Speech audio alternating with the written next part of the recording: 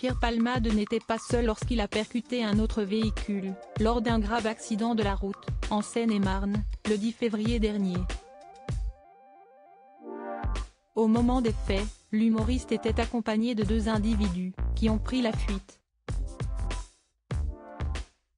L'un d'entre eux a été interpellé et placé en garde à vue ce mercredi 15 février. Ce Marocain de 33 ans, en situation irrégulière et jusqu'ici inconnu des services de police, logeait chez une femme dans les Hauts-de-Seine.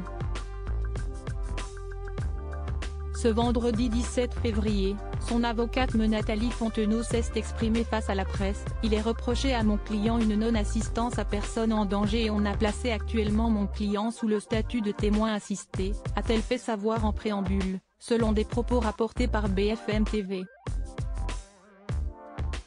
L'avocate a fait savoir que le passager, qui se trouvait à l'arrière de la voiture de Pierre Palmade, était peiné de cette situation, si est compliquée.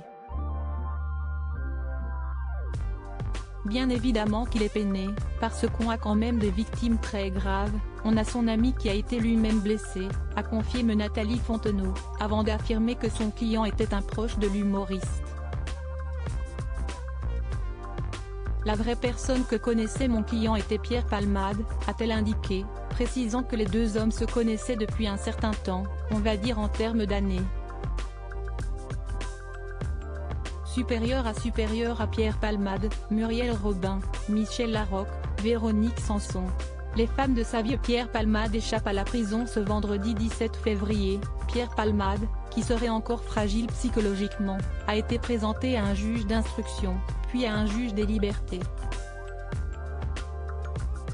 Ce dernier a fait le choix de le mettre en examen et le placer sous contrôle judiciaire avec bracelet électronique pour homicide et blessure involontaire.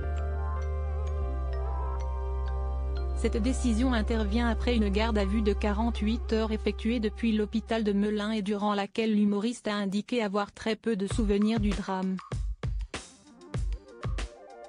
Crédit photo, Gouye, Jacovide.